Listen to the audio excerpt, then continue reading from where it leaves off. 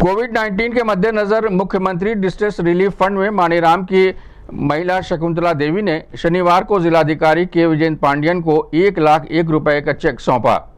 हर हर Mahadev agro industries की तरफ़ से शकुंतला देवी ने अपने पुत्र कमलेश जायसवाल के साथ जिलाधिकारी कार्यालय में पहुंचकर कोरोना पीड़ितों की मदद के लिए डीएम के माध्यम से मुख्यमंत्री डिस्ट्रेस रिलीफ फंड में एक लाख एक रुपए की सहायता राशि दान किया।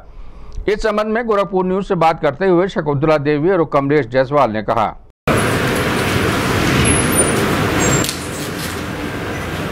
नहीं नहीं एप्लीकेशन से नहीं होगा। ऑनलाइन पास ऑनलाइन नहीं नहीं ऑनलाइन ऑनलाइन भरना पड़ेगा। तो नया हाँ वो।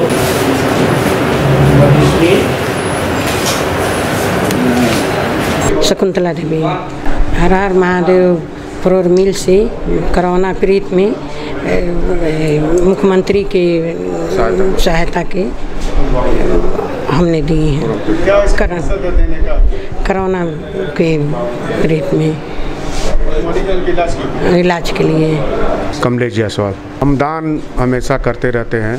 हम समाज सेवी हैं कमलेश जायसवाल, और माता जी से कहें, हमारे परिवार के तरफ़ से हर हर महादेव गुरु इंडस्ट्रीज़ के तरफ़ से कुछ कोरोना पीड़ितों के लिए सुचारू रूप से अच्छा खासा दान दे दिया जाए कि कुछ मदद हो सके हम लोग को तरफ़ से।